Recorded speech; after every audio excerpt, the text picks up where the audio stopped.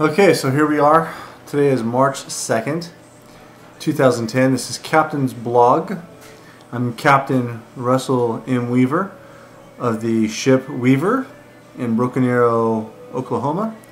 Anyways, uh, last night was a long night, long day yesterday. A lot of things had to get done, and uh, they got done. Uh, it just came at a high cost. So um, ended up blowing my knee out. It's been swollen all day. Uh, on a Weaver pain scale, it's about a seven, and I just I can't stop. Things got to get done. So for those of you guys that see this, please be praying for me because uh, my knee's hurting pretty bad.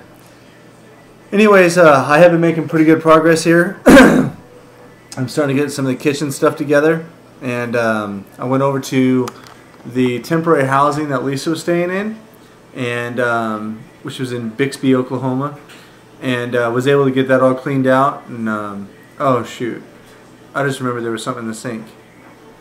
Anyways, um, there you're a part of that with me. okay, so anyways, uh, picked up some mail. My book came in today. Woo! See, Pastor Dave, I do listen. Mastering your money. Why is it reversed? Anyway, um, I look forward to reading it. Uh, more knowledge, the better. Anyways, uh, got the dining room together. Woohoo! I'm gonna make some Tanya. Uh, what am I making tonight? Jambalaya. There we go.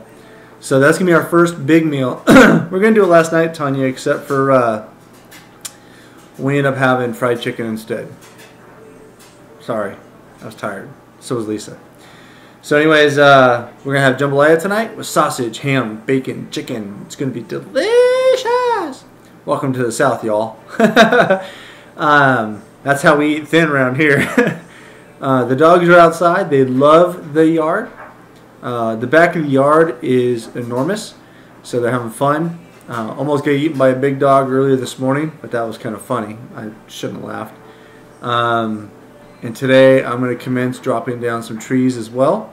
We'll see. My knee is pounding pretty good. Um, otherwise, we're doing well. Um, we heard about Sherry's surgery and we are so thankful. We are all praying that it was going to go smoothly.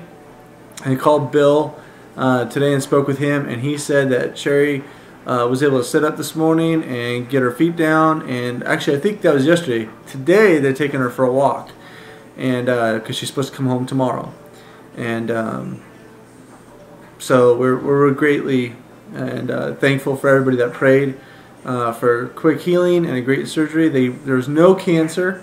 Um, they're able to get it all, and um, they're not going to have to do any radiology or um, any chemotherapy. So we give praise and glory to God for that. All right, you guys. Well, that's my blog for March 2nd, 2010. I'll see you later. Bye bye. Oh, go Kings!